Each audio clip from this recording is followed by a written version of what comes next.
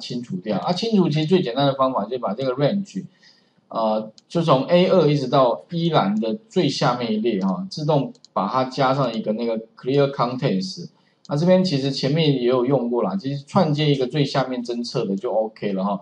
那你就不用说写一大堆清除的指令了。当然录制剧集它也会帮你录了啊，不过我是觉得录下来至少会。哎，一二三四，总共五行哦。然后你自己写的话就一行哦。OK，啊，当然以后的话，录制剧集啊，一段时间之后啊，你可能假如不需要了，你慢慢发现，哎，其实有些东西其实可以自己写，那你就可以慢慢脱离录制剧集，自己开始来撰写一些东西哈。那不过阶段性的，我们假设录完之后，啊，当然这个地方的话加上注解哦，然后呢，这个上面的注解是写给你自己看的。所以尽量哈，你自己简单明了为为比较啊前提哈。那当然也可以写多写一点啦。如果你哪些地方不熟，你可以多写一些。我看之前有同学写一堆哈，把那个注解拿来当笔记一样写一堆，OK 没有问题哈。因为其实这种学习的阶段，然后再来的话就是说，我们把这些啊做完注解之后啊，各位也不要忘记就是说那个缩排的重要性哦，有没有？Fourness 中间这边都会有缩排。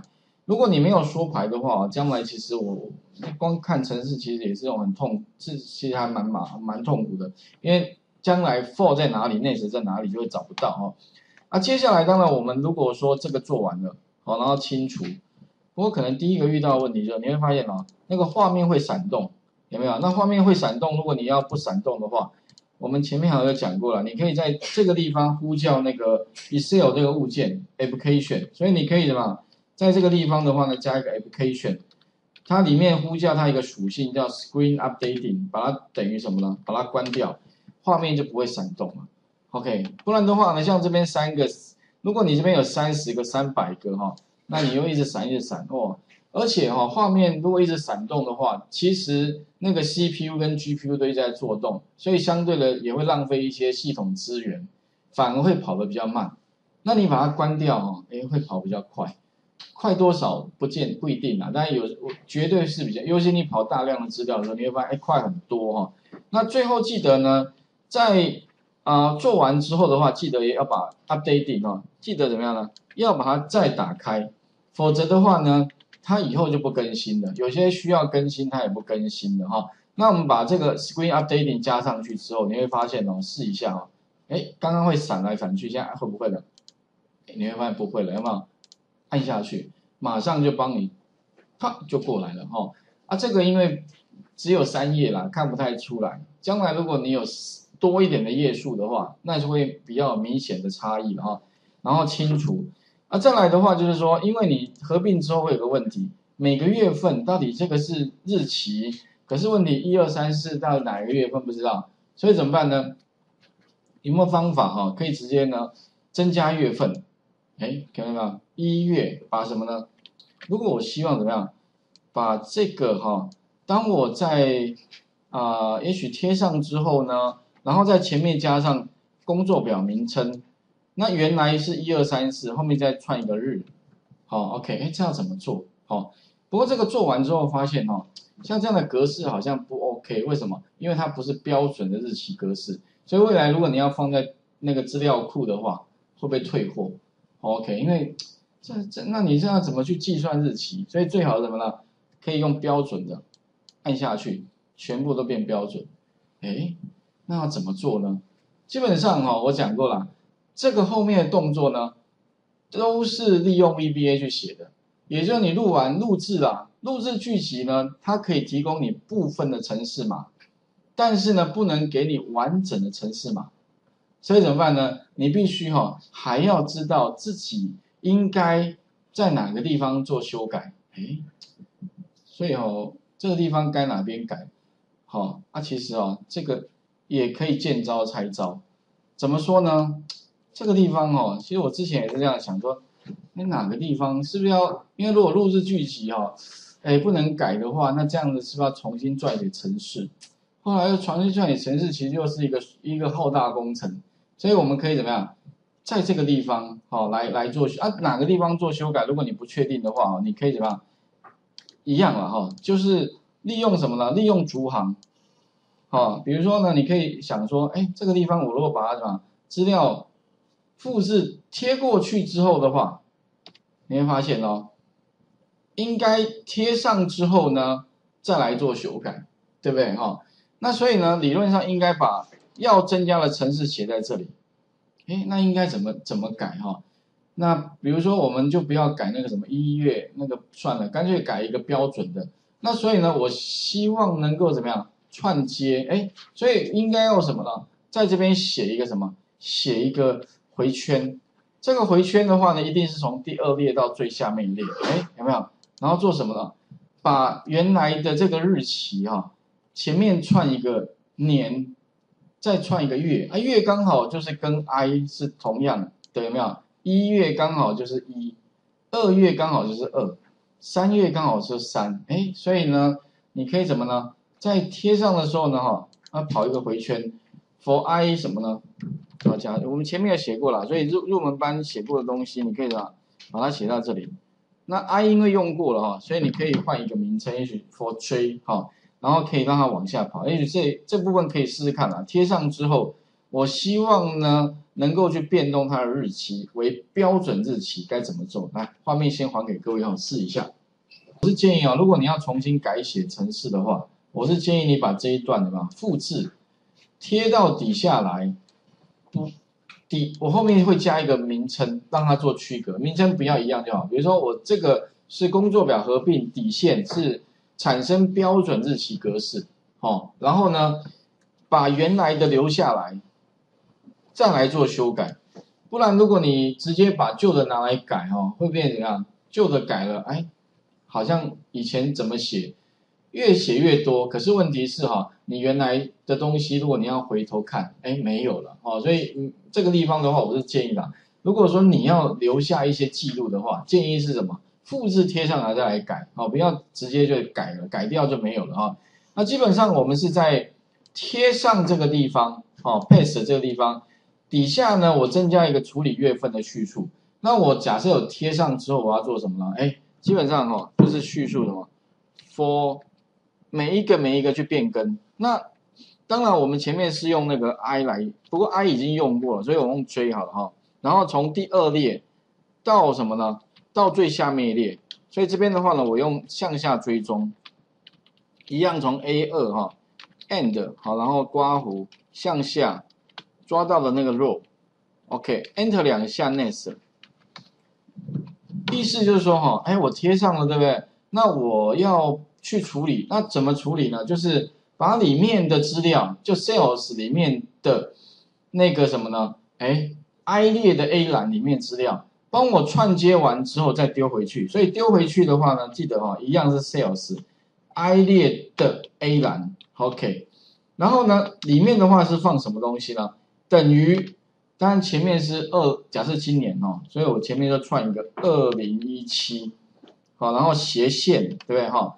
然后呢，几月份的话呢，就是串接什么呢？And 用 I，好，因为现在这个外面这个 I 的话。刚好就是它现在的几月份，一刚好就一月，二就二月，所以我直接把 i 放在这边，and 什么呢？